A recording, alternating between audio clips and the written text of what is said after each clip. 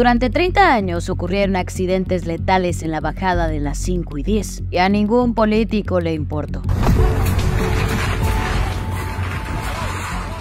¿Quién no ha pasado por aquí y ha sentido nervio de chocar con un camión? Preferían robarse el dinero que hacer una rampa que salvara vidas. Mucho ojo, metros antes hay una rampa de seguridad que muchos desconocen, que aunque no está en las mejores condiciones, finalmente hasta el momento es la única alternativa, esta, esta rampa de emergencia. Hoy, esa rampa ya es una realidad. Esta es una rampa de emergencia para frenado y su función es evitar accidentes viales y por ende pérdida de vidas humanas. Entonces esta rampa está pensada principalmente en el camionero, que muchas veces pone en riesgo su vida con tal de no, de no chocar ¿no? Con, con, con algunas personas o con sus casas. Pero los políticos inútiles que nunca pudieron resolver ese problema, hoy están muy enojados porque AMLO y Montserrat Caballero lograron lo que para ellos era imposible. Aquí atrás igual arrasó un camión con muchos, muchos carros y siento que eso está muy bien para que no pasen ese tipo de situaciones y le están pagando a periodistas vendidos para hacerle creer a la gente que el gobierno cobra miles de pesos por usar la rampa. Porque hacer una rampa de estas características no es cualquier cosa. Requiere, más allá del dinero, requiere que haya especialización.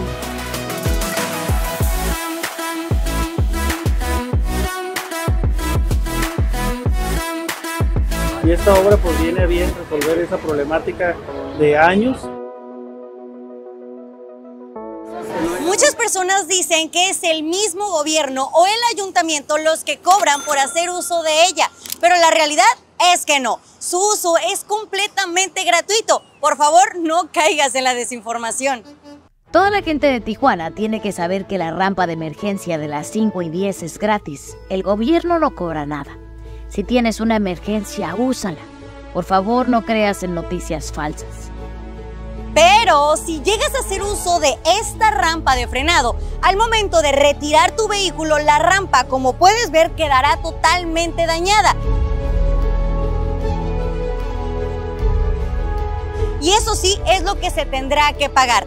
Después de un accidente, la rampa tiene que ser reparada para poder salvar más vidas. Y ese costo de reparación lo cubre el seguro de tu carro. Aunque tengas el seguro más económico que se venda, la reparación de la rampa está cubierta. En esta rampa se pueden impactar desde camiones con doble semirremolque hasta automóviles familiares. Así es de que tabular un gasto por la reparación de los daños es prácticamente imposible. Todo depende del tipo de emergencia. Entonces vamos a salvaguardar el el patrimonio y la vida de los tijuanenses. Por favor, pasa este mensaje a toda la gente que conozcas de Tijuana y no confíes en periodistas vendidos, que lo único que quieren hacer es hacer quedar mal a AMLO y Montserrat Caballero, porque están haciendo cosas que ellos nunca pudieron. Sin embargo, no hay ninguna cantidad monetaria que se compare con el precio de salvar tu vida, la de tu familia o la de las personas que te rodean.